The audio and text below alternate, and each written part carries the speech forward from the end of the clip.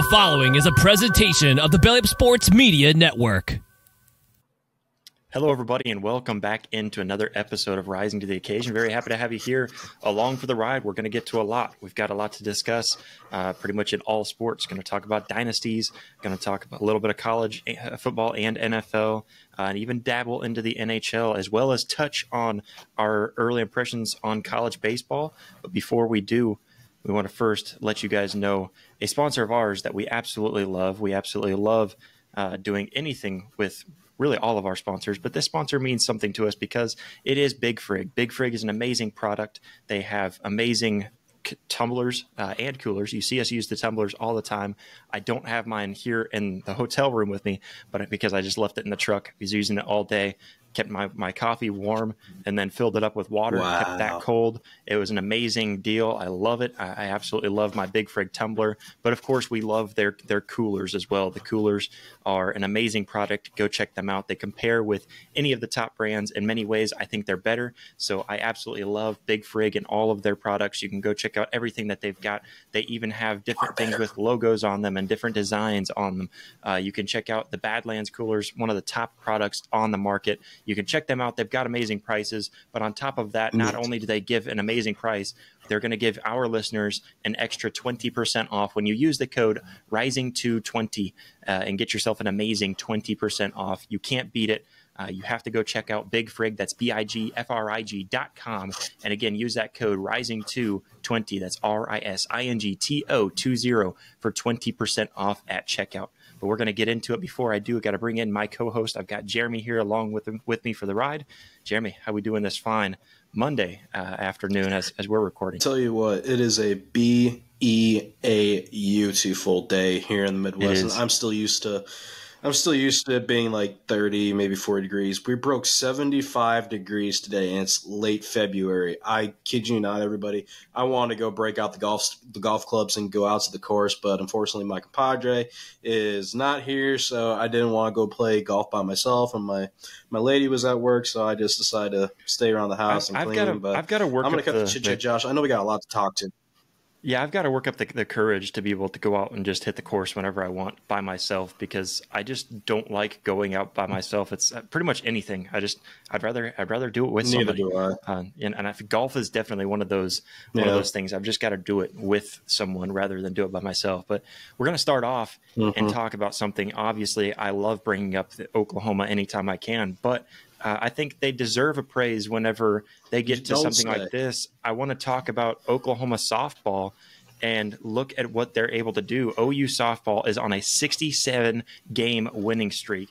Absolutely on a tear. Uh, they, they, look absolutely dominant too. They had a couple of run rules this past weekend. Uh, they really do look so amazing. Uh, and, and when you look at them, I mean, they, they don't look much different. We've talked about Oklahoma softball in the past because of how dominant they are they don't look that much different so far this year. And so going into it, man, I just I, looking at them, they're 14 and 0 so far on this season. Uh, they're like I said, 67 game winning streak. They're they're winning against good teams this year too. One of the criticisms about Oklahoma softball was that they face all these cupcakes, and so of course you can you can win whenever you're going against these cupcakes, but earlier. Uh, this would have been week one. They faced number nine Duke. They went against number number uh, ten Washington. Uh, and so looking at that, I mean, they started off their first week with some tough ones, uh, and then of course most people won't won't recognize, but McNeese State is a pretty tough team. They're one of those good softball teams. They went against an SEC team and won nine to three this past weekend. Uh, number twenty Mississippi State. So they ended up beating them, uh, beat Wisconsin in five innings on a run rule. Uh, that was ten to two uh, and then shut out San Diego State. They beat Seattle in six innings, eight to zero on a run rule, and then Loyola, uh, yeah, Loyola Marymount nine to zero in another five inning run rule. They've been on a tear, and I don't think they are looking uh, to to slow down anytime soon. I mean, they are an amazing dynasty. Jeremy, can you think of any dynasties in the entirety of sports that are any greater than what we're seeing out of Oklahoma softball right now? Realistically, I could say no. There's nothing better than OU softball, if I had to tell you honestly, Josh. I mean, you look at OU softball, eh, I don't know what can physically stop them. There's no kryptonite against Oklahoma's softball team. Ever since I can't remember the last time I can honestly say I've seen a team like I can see teams good, but I can't say I've ever seen teams this good. If you go on a 67 game winning streak, you are you might as well just perform a or not not perform you might as well form a professional softball league and just have the entire oklahoma sooners roster on it just because it just seems like every single one of their individual players just puts in 110% game in, game out. You don't see Oklahoma make very many errors in their game. You just see them either launching bombs or you see them launching doubles or you see anything but you, you see singles obviously as well, but you don't see a lot of them compared to what you usually see for Oklahoma putting up runs. To me, it's just completely mind boggling to see an, a dominant Oklahoma softball program like this. And I tell you what, I don't think anybody can really stop them. And if they do, I'll I'll be a man of my words and eat them. But if you do beat them, good luck. Is all I'm going to yeah, say. I, I think it's a, it's amazing watching them, and and I, I really enjoy watching them. They they've been so good for the they're they're a three peat national championship championship team. So you got to mm-hmm. look at that. Uh, they they run over just about anyone they, they step in the you know on the on the field with. So it's just looking and seeing what diamond, they yeah. they do. I mean, they are absolutely dominant. They're so so fun to watch, uh, and and really, there's a ton of other teams too. I think Alabama, Texas is looking really good. That's going to be a really big test coming up. Uh, they've been dominant so far this mm-hmm. season too. But there's been a lot of softball teams, and, and whoever your team is, go check out their softball program because I promise you, I think there's so much heart and so much uh, pride being played out there in, in women's softball. Uh, and I, I, definitely think that's a sport that needs a little more love just because these these ladies, they, they put a lot on Absolutely. the line. They, they, they go out there and they fight really hard. So I, I love watching it, and I, hope you guys can get into it too. But uh, let's jump over to the NHL because, Jeremy, I hear that there's a guy that's looking a little bit more like his old self. I mean, it's always a it's always a fun time when you get to see uh, home sweet home for what this guy has done. Patrick Kane finally got to make his nice homecoming going back to Chicago against his former team now obviously with the Detroit Red Wings. Then being back in Chicago they had a big big ceremony video presentation during one of during one of the TV timeouts. Then of course you can see the, the look on Patrick Kane's face. It was really really tough to hold back the tears. And I I don't blame him one ounce at all. I mean the man's been in Chicago with the Blackhawks for oh, a long time. He was there in 2007. Then he parted ways with Chicago um, mid 22 23 season to go over to your New York Rangers. Then from his time in Chicago, let's just put it this way he had a little over 400 goals and he has the nickname Showtime. If you don't know why his nickname is called Showtime, just look up Patrick Kane in his highlights and you'll see why. But that's besides the point. Patrick Kane he definitely had a real emotional time being back in Chicago, but to say the least, it was bittersweet just because watching the watching the Detroit Red Wings play the Chicago Blackhawks, it couldn't have ended in any better way. Patrick Kane on a breakaway in overtime, and you can probably guess how the outcome ended. Top shelf, back in the net, and of course you see Patrick Kane celebrating, looking at the crowd, just saying "Showtime." Now, if I was in Patrick Kane's shoes, my butterfly uh, my butterfly anxious meter would be through the roof of the arena just because of how much memories and blood, sweat, and tears he's put with that Chicago Blackhawks organization. And obviously, it was one thing to see Patrick Kane to be back in Chicago for one, but just to see him get the win in Chicago the way that it did. It was truly humbling and unbelievable. And I can I can tell you, Josh, there was probably a lot of Chicago fans that when they saw him score the overtime winner goal, they wanted to cheer deep down inside, but they were probably too scared to because they were probably going to think that they're a traitor just because it's on the Detroit Wings. But Josh, Patrick Kane, what more can you say about the man? He's just been absolutely lights out just for his hockey career. I mean, and he's only 35, so he's still got some time yeah. left in him.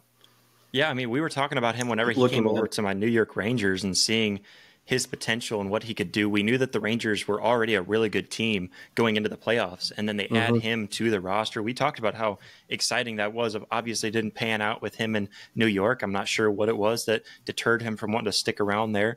Um, but and and it just didn't mm-hmm. seem like it fit the way that we were hoping it would. But it was still a lot of fun to watch him there in New York. I appreciate him and his effort and everything that he did to to to give to New York the way that he did because the Rangers were a great team last year. made made it so close uh, and and and fought really hard. But seeing him go over with Detroit, obviously Detroit looking much better this year than than they have in years past. They're looking pretty solid, and it, it's it's always a really fun story when you've got a legend coming back home like this in any sport. Uh, you know, we, we talk about, you know, just about every time that Russell Westbrook comes back to OKC, he gets a standing ovation. Uh, you know, and you, you look at different different guys and, and them coming back to their their home, their home, you know, where they started their career and where they spent so much time of their career. There's there's still a bond, and of course LeBron, the first time he came back to to Cleveland, and there's all kinds of you know big scenarios where you can look at and see this kind of this kind of uh, I guess emotion being put in the game. But on top of that, like you just kind of laid out and painted a perfect picture of him scoring to win the game for his team. I, it doesn't get any better than that. I mean, it's it's so much so much fun to watch that. I can I can just sit there and watch the the goal on repeat just because it was really Showtime for Showtime. But that's outside the topic. But Josh, I know I've saw I've seen some um, some mentions on social media talking about the college football and the playoff committee, what exactly are they going to be doing this upcoming yeah, down the road here? So this is something interesting to to take into consideration. So we've talked about the college football yeah. playoff, the way that it came from four, and all of a sudden we jumped to twelve. We talked about this how many times on this show? I mean, mm-hmm. numerous times. A lot. so it was such a big jump, and we we all kind of were against being you know, kind of expanding it so much. You need to take it step by step. Yeah. We talked about six teams. Six teams feels like a good one. Max eight. Now they're talking about expanding the college football playoffs to 14 teams come 2026. Man. Now this is something that is is early discussions. It may get turned down, but I, I kind of wanted to pick on you know I guess you and Blake was what, what my hopes were. Obviously Blake traveling, he was down in Florida watching some baseball this weekend, but uh, you know, I, I, wanted, wanted to kind of pick your brain on this and, and see what you guys thought of this because I know we've talked before. It feels like 12 was too much. O- obviously, we're excited for the 12. How do you feel about the 14 though? If they were to discuss this and bringing this to life, if they were to bring this in, I I like seeing teams get opportunities to make the make the postseason, but 14 to me is too much. Like well, going back to what you obviously mentioned, we talked about this numerous times.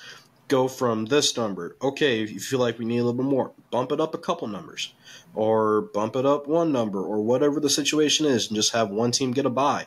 But you're if you're trying to bump up to 14 teams in 2026, to me that's kind of just blowing the entire playoff proportion out of the out of the water, just because it almost seems like you can see a team that shouldn't even belong in the playoffs get into the playoffs and then they're battling for against a team that could easily win the championship and then all of a sudden like uh, it's there's right there's rights and there's wrongs to this. There's rights for some of the teams that you never get the opportunity to see in the playoffs. Yes, that's a good one. But for the wrongs is just 14 teams is too much in my opinion, Josh. But yeah, I mean we, we like talked said, about 12 whenever we whenever we jumped up to 12. I just thought you're you're opening it up so much. No way. I like that. I like the fact that conference yeah. champions get a shot. I think that's fair. Uh, I think there's a lot of discussion mm-hmm. about maybe even co- conference champions. You know, they don't like just a, because you're a conference champion you get them. But personally, if we're going to have these conferences and you're able to fight through, and especially as tough as conferences are now, now that we're narrowing them down, I think conferences getting conference champions getting a lock into a playoff system, I think that's a great way to start it off. Uh, and then it, it becomes a big discussion of how you want to do it after that.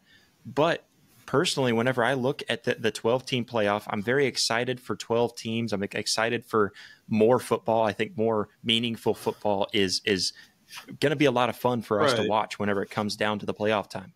But Definitely. Definitely. I, I, just I, I just think it opens up too much parity you you just got too much going into this benefactor. Like, just stick with a number and just let it go. Don't bump it. Just leave it, as they say in Frozen. Just let it go. That's all I can really say about that, Josh. But Yeah, yeah, absolutely. But we've got more college football news, and I want to hear from you because you, you had some some uh, news kind of breaking out that you were talking about uh, with the Ohio State star uh, wide receiver Marvin Harrison Jr. Yeah, this was definitely a shocker to me, just because you would think of Marvin Marvin Harrison Jr.'s talent and what he's able to show.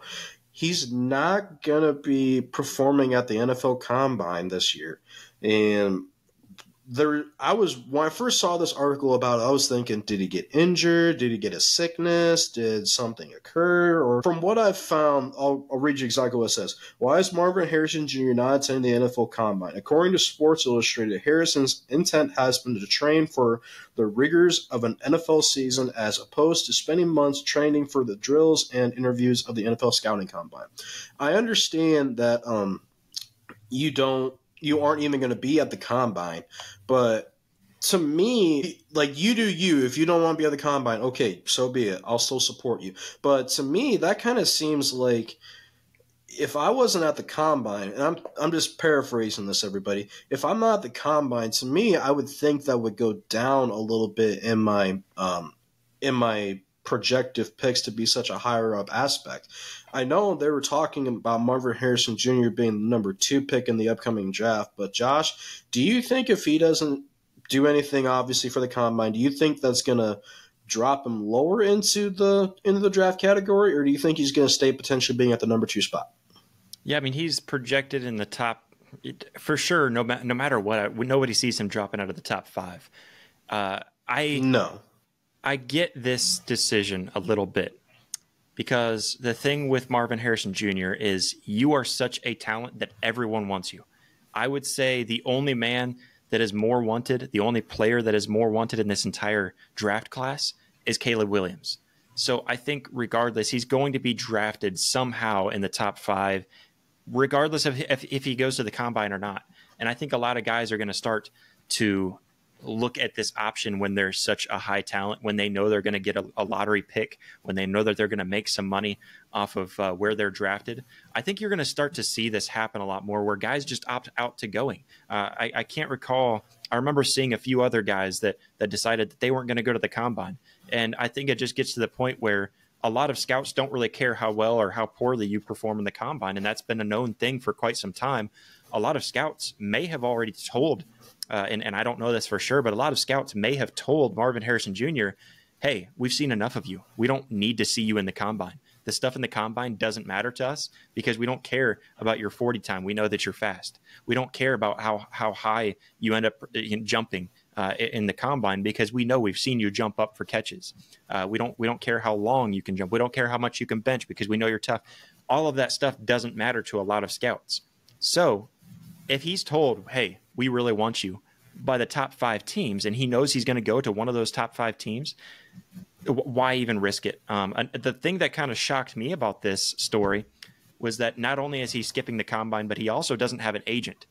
But I guess with him, maybe it's because he's got dad, and, and dad knows the in, ins and outs of all this process. So that could be the yeah, case. But true. Uh, that was a little surprising to me. I, I would true. be nervous going into such a big deal without having an agent to help me out personally. Yeah, it's one thing to go and ditch the ditch the uh, combine, but if you're not going in there with an agent, my I tell you what, if I had a briefcase, I would have so much anxiety medication that would be mind-boggling to me. But going outside of college football, I know we're going to be going back into the NFL, which seems like it's a long ways away, but we all know it'll be soon. It'll be here sooner than later. Josh, there's talking about some raises and some things. What are they going to be raising exactly? Yeah, and there's a lot to get to that, and it's it's a lot about talking about the raising of, of the salary caps, but something that we want to get to and raise to your attention before getting there is how amazing Factor is, because Factor is a delicious, ready to eat meal making system, and it, it's a way to make eating and making dinner better every day. Uh, it makes it so much easier. So whatever tomorrow, uh, wh- wherever tomorrow takes you, you can be ready with prepared, chef-crafted, and dietitian-approved meals del- delivered right to your door. That's the amazing thing, and you heard that right. They deliver it to you. You don't have to go to the store anymore because Factor mm-hmm. is now here to save you. You'll have over 35 different options per week to choose from, including keto, calorie smart, vegan and veggie, and so much more. And there's even more to enjoy with 55 nutrition packed add ons to help make your weekly meal planning even more delicious. So, what are you waiting for? Get started today and have a feel good week of meals ready to go. We absolutely love Factor meals. The thing that I love about it is, as you can see right now, I'm in a hotel room again, and I, I work on the road a lot. And so the amazing thing with Factor is that whenever the, my, my hotel has a, a, microwave, which it does here, I know I can eat healthy and cheaper uh, because we've done the math. Uh, whenever you you sign up and save, you uh, you can you can be saving so much money because Factor is so much less expensive than takeout, and every meal is also going to make you feel better because it's dietitian approved and it's nutritious and delicious. Uh, it's an amazing deal. Not only that, but it's also very quick. So a lot of times I'm trying to hurry up and scramble back here, hop on and get loaded up to record the podcast, and I've got to hurry up and eat a meal real quick beforehand. All I have to do is pop that in the microwave for two minutes and it's ready to go and it tastes absolutely delicious. It is real chef prepared food, so you don't have to worry about it being fake TV dinner kind of meals. It's absolutely amazing. Not only that, but it's very flexible to your schedule because, as I mentioned, I'm on the road. Maybe I left a few of them at home and I don't get to them this week. Factor makes it really easy for me to reschedule. Uh, you can schedule six to 18 meals per week, plus you can pause or reschedule all of your deliveries anytime you need to. So it makes everything so much easier about meal planning and cooking and and just eating healthier. So check out Factor Meals by going to factormeals.com slash rising250 and use that code rising250 and get yourself 50% off your first packs and get two free wellness shots per box while that subscription is active. That's code rising250, R-I-S-I-N-G-T-O 50 at factormeals.com slash R-I-S-I-N-G-T-O 50 and get 50% off your first box and two free wellness shots per box while that subscription is active. Go check them out. It's an amazing way to eat, keep yourself healthier, and save so much time in the process. But let's get over to it because, as we alluded to, salary caps starting to look a little bit different in the NFL, and uh, this is this is kind of a, a big news, uh, especially for if you're an NFL fan uh, for a team, maybe like you, Jeremy. We were talking about what your your Bengals could do to kind of save themselves this offseason. Well, I mean, this may be a, a great option, uh, you know, because now the NFL has announced that they're going to be raising to a new record of salary cap of $255.4 million per team. Uh, this is a 13.6% increase over last year's salary cap signing, uh, which is just an, an extremely high amount. Uh, and you have to look at how much they they earned as an as the NFL, how much they earned this last year, and see how much you know that they were they were able to kind of manipulate this number. And for teams, I think the teams that benefit the most off the top of my mind would be teams like maybe, uh, uh, like I said, I think your Bengals could benefit because they want to keep guys like Tee Higgins uh, and a couple of the defensive guys, mm-hmm. maybe bring a defensive guy in in the free agency market, move around that salary cap. And now they've got an extra uh, $30.6 million to work with. Um, so, I mean, that's just, that's crazy. Um, so, you know, just looking at that, I think teams like your Bengals, the 49ers, as stacked as they are, I think they need to keep a lot of that talent there. They're now able to, to maneuver their money around and, and, try to manage their money in a way that could keep guys there. Uh, so I, I, think teams like that, or uh, maybe even the Green Bay Packers, uh, you know, I, I, think that's another another team that I was thinking of. That you know they've got some guys that are on a free agent market right now. Um, but I mean, this number to me just seemed so crazy. We knew that it was going to increase. I was thinking maybe more along the lines of three to six percent, maybe up to eight percent, because they had a really good year in 2023. Um, but I mean, Jeremy, mm-hmm. what do mm-hmm. you think about this this increase of 13.6 percent there? Uh, and how ironic too, 13. And once I first saw it, I literally grabbed some glass cleaner, cleaned these things off because I thought I couldn't see out these things right. I first thought it said 3.6, and I looked and I'm like, "There's a one in front of that thing." Holy crap! Like 13.6% is a big, big jump for the salary cap space now. Like, I'm thankful that the Cincinnati Bengals did re-sign Tee Higgins. That was that was one thing that I was really, really thankful for because if they didn't, I was gonna probably have an emotional breakdown and cry. But um, this is definitely something that can help out a lot of NFL teams for this upcoming year and later down the road for where they can save these potential five star players and then get them to where they can have them in the long run. But 13.6% still completely mind boggles me. I was thinking along the same lines as you, maybe five, six percent, maybe eight percent at the absolute most. But seriously, when I saw thirteen point six percent, I thought the sky's the limit for a lot of these teams because you you brought it up the best. Some of these teams they they kind of desperately need to have some of that extra salary cap money just so you can see them succeed going into the season. And there's a lot of teams that are out there that do need those kind of possibilities, and this is definitely a um, a big breather for some of those teams that they can have this big of a salary cap now, and then they can potentially look at the year and think of a lot better for having some of these big key players, Josh. So it's definitely a big boost. Yeah, so I mean, for everyone, eh, like like I said, it's thirty point six million dollars per team more because last year was two hundred twenty four point eight uh, million dollars. So I mean, that that number uh, increasingly, eh, the, the amount that it increased is just inc- is a crazy amount. Um, but uh, mm-hmm. You know, like I said, it's just kind of ironic that it's 13%. Uh, I didn't think about that until I was just now talking about it uh, and, and, talking about that. This could add to the conspiracy, the Taylor Swift conspiracy, that it raised 13% because of Taylor Swift. Um, who knows? Oh but, my uh, god! no, you, you've got to you've got to throw in the speculation. That, no. You've got to throw in the speculation because I'm sure that that oh is going to come god. into fruition uh, one way or another. But uh, this is really exciting. I'm, I'm, excited to see what this does for teams because now you talk about uh, another team too that I didn't think about until just now. Tampa Bay trying to sign Mike Evans and Baker Mayfield, uh, and uh, uh, they've got a, a, a, defensive guy too. Is it Winfield that is up? I think it might be Winfield that might be up for uh, for a contract extension. Um, but I know they've got, they've got so. some guys that they want to sign back too. So Tampa Bay would be another team that I didn't think about until just now that that could really use this extra you know extra uh, money to to kind of maneuver around and try to keep guys around. So it, it's it's a lot of yeah. a lot of excitement. Uh, you know, talking about everything that's going down in the NFL. Um, a few moments later. I was yeah. going to try to get your thoughts. Uh, what what do we have? Who's your most impressive team so far in college baseball that you've seen? My most impressive team so far this year. It's hard to pick anybody I, else, I like, but I feel like there's quite a few that you can look I, at too. I mean, list off I'll list off the top 10 for you guys first. Number one's sitting at Wake Forest. Number two, Arkansas. Go Razorbacks. Three, the Bayou down in LSU. Four, go Gators. Florida. Number five, them Horn Frogs TCU. Number six, Oregon State. Seven, Texas A&M. Number eight, good old Rocky Top Tennessee that I'll never sing again. Um, number nine, Vandy, Vanderbilt, and center number ten is Clemson.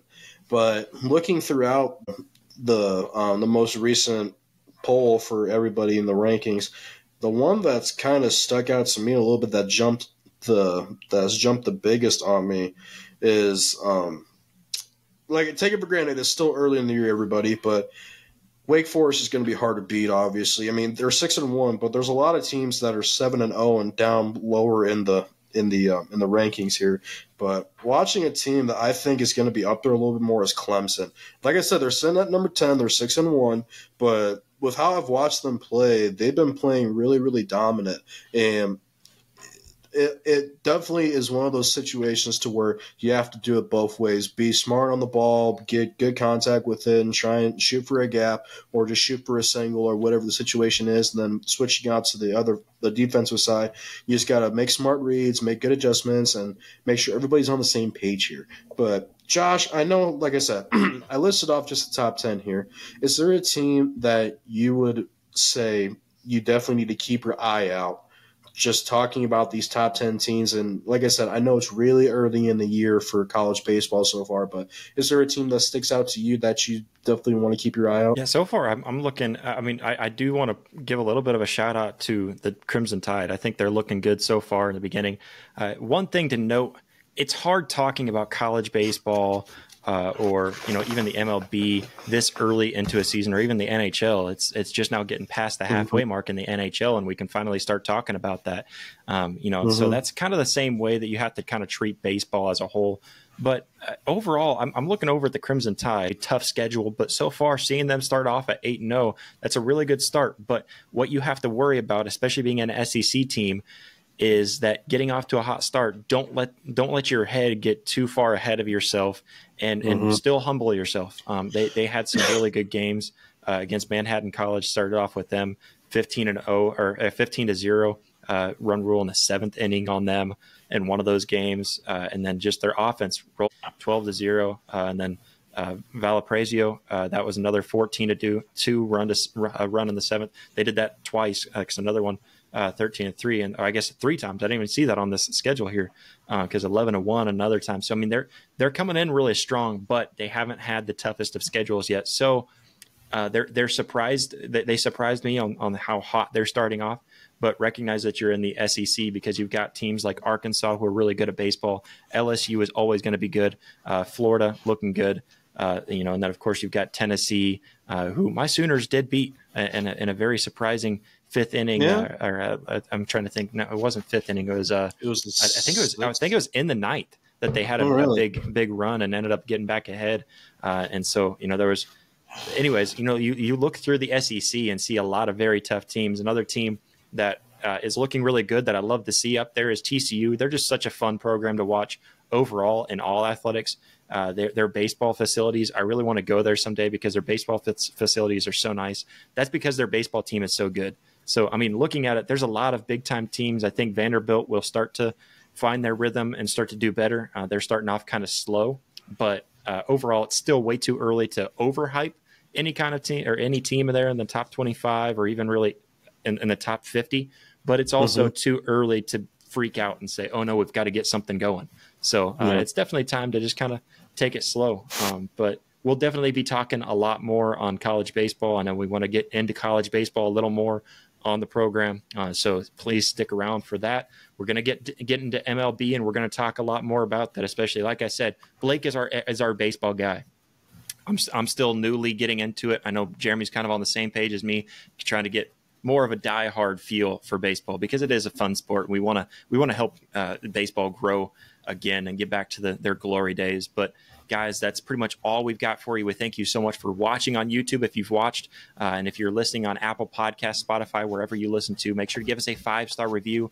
Over on YouTube, you can hit that subscribe button, hit that like button, but you can also join the channel, become a member today, and help support the, the podcast, uh, help us to grow, do more things. Uh, we really appreciate everybody who has become a member so far. But you can click that link down in the, in the description to become a member and help support financially and help us help fund the podcast. And we want to give that back to you by giving you exclusive content, giveaways, and so much more. So go check that out. Uh, and you can always check us out here on YouTube as well as over on social media. We've got Facebook, Instagram, uh, X, formerly known as Twitter, and even that TikTok thing as well. So go show us some love over there. We'd love to hear more from you guys. We thank you all so much for all of the love, all of the support.